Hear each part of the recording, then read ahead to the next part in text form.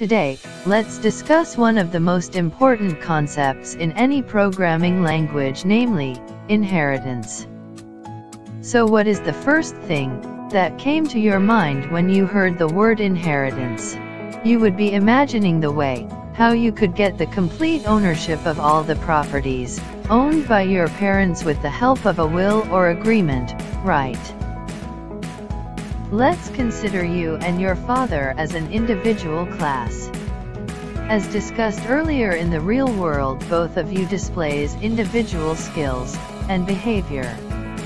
These behaviors and skills can be considered as an object of the class. Refer our previous video to know more about classes and objects. If you observe, both the classes have its own methods and variables which could be accessed with the help of objects. But have we defined any relation between both the classes? No, right.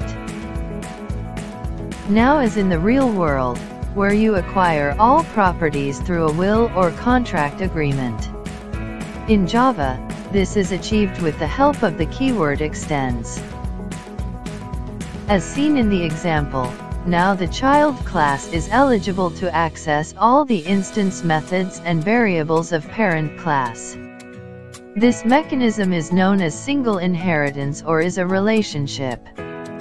That means now our child class is having a relation with the parent class.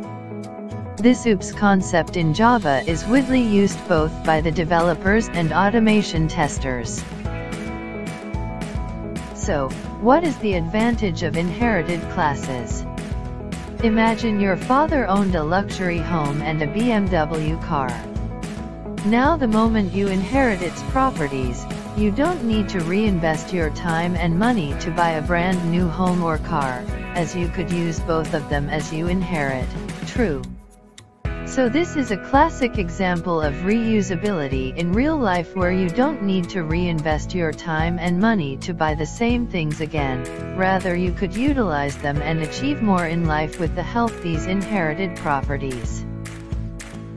In Java, we could reuse the instance methods and variables defined in the parent class, in all inherited child classes throughout the projects. By this we could avoid and save time in writing duplicates codes. Moreover if we change anything in the parent class methods, this will be reflected across all inherited methods. Multi-level inheritance. We also have multi-level inheritance. Where you could even reuse the properties which your father has inherited from your grandfather. As shown in the example, you're now eligible to reuse all the properties of both your father and grandfather's class.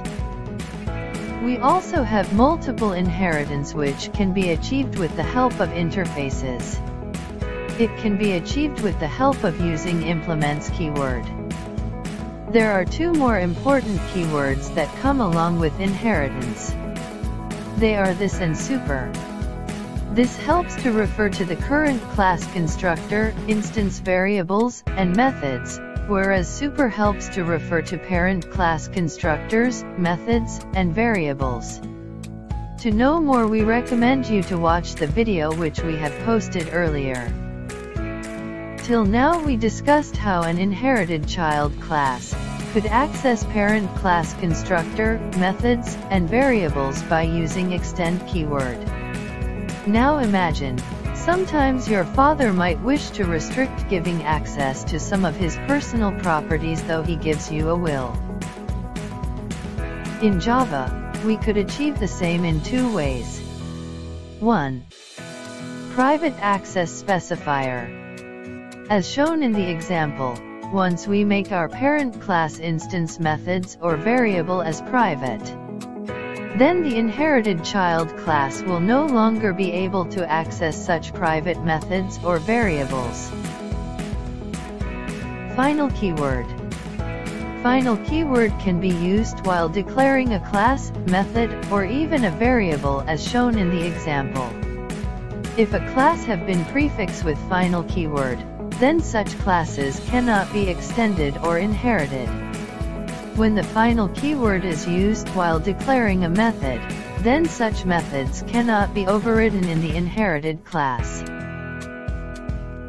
So now, let's see the different types of inheritance we have in Java. We have single, multilevel, hierarchical, multiple, and hybrid inheritance. Zone, the corporate trainers. Subscribe our channel and enable bell icon to get notifications on videos related to software testing.